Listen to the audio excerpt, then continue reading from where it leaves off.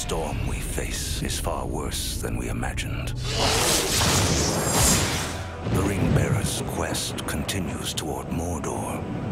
But to the north, a great army is gathering.